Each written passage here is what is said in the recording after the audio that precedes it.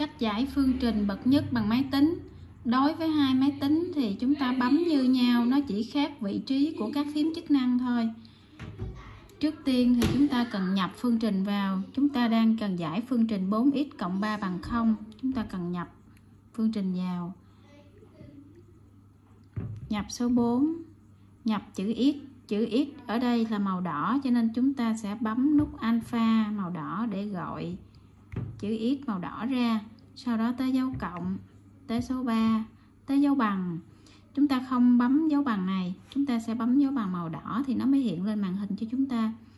Do dấu bằng màu đỏ cho nên cô bấm nút alpha để gọi dấu bằng màu đỏ ra. Sau đó bấm số 0 sau khi nhập phương trình 4x cộng 3 bằng 0 xong, thì bây giờ chúng ta tiến hành giải. Cái chức năng giải phương trình là cái chức năng màu vàng, cái chữ solve màu vàng ở đây do nó màu vàng cho nên chúng ta sẽ chọn nút ship để chúng ta gọi cái chức năng giải phương trình ra.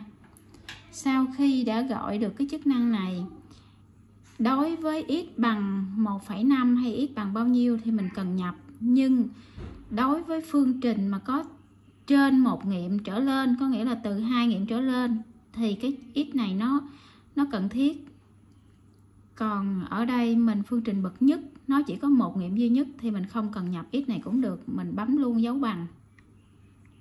Sau khi mình bấm dấu bằng nghiệm của chúng ta mình nhìn chỗ chữ x nghiệm của chúng ta sẽ là âm 0.75 sau khi ra được âm 0.75 chúng ta ra, thoát ra giao diện ban đầu.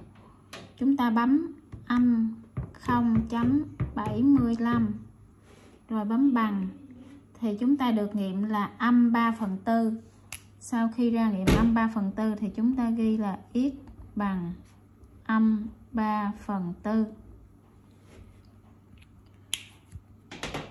Tiếp theo, phương trình 5x trừ 1 bằng 7, 3 trừ 7x. Ở đây cũng là phương trình bậc nhất.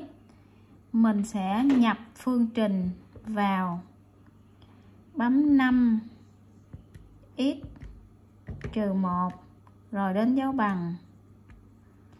3 trừ 7 x mình sẽ sử dụng cái chức năng giải phương trình là chức năng solve để giải màu vàng, cho nên mình bấm nút shift để mình gọi chức năng này ra. Xong, mình sẽ bấm dấu bằng.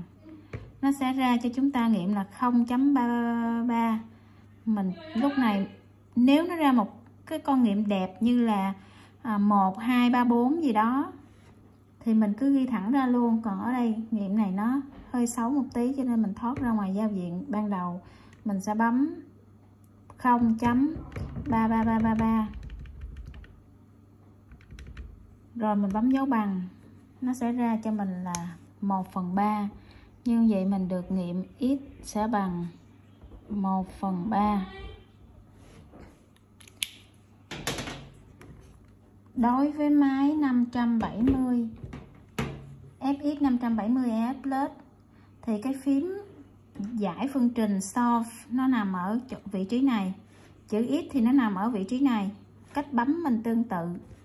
Bây giờ sẽ nhập nhập phương trình 4x giả sử mình giải phương trình 4x cộng 3 bằng 0 bây giờ mình nhập 4 x đây, bấm alpha gọi x ra rồi cộng 3 bấm alpha gọi dấu bằng ra.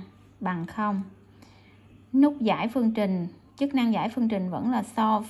Như vậy mình bấm shift để mình gọi cái chức năng màu vàng này ra, solve. Nếu là một cái phương trình mà có từ hai nghiệm trở lên, mình sẽ quan trọng chỗ này. Mình cần nhập một con số nào đó vào.